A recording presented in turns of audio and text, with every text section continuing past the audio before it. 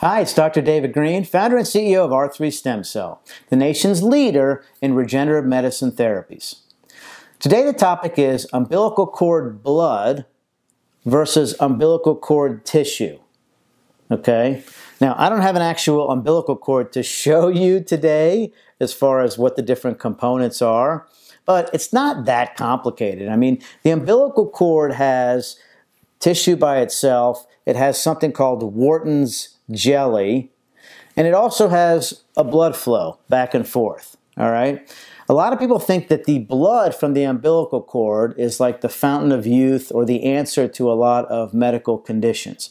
And that is actually not true. The umbilical cord blood has some stem cells in it called hematopoietic stem cells, but those stem cells are not very active. All right, they're not nearly as good as what's called mesenchymal stem cells that come from the rest of the umbilical cord and the Wharton's jelly component. Those are very active in the repair and regeneration process and much better than umbilical cord blood.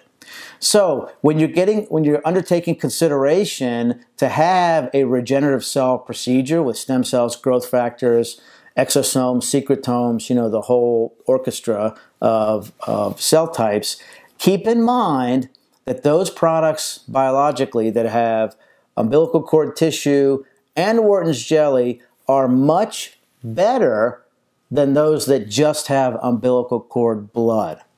Okay? It's leaps and bounds and exponentially higher numbers in the umbilical cord tissue products, which is what all of our centers use.